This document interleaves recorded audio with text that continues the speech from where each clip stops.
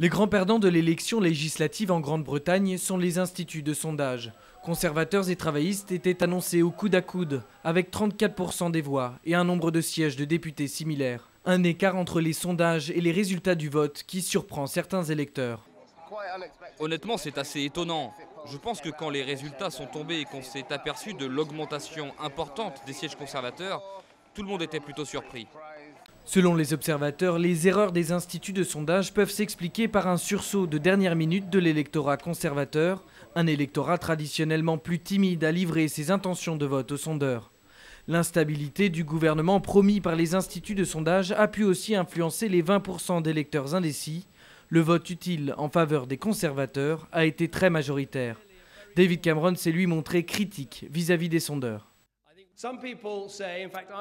J'ai toujours dit que la seule enquête d'opinion qui compte est celle du jour de l'élection, et je dirais que cela n'a jamais été aussi vrai qu'aujourd'hui.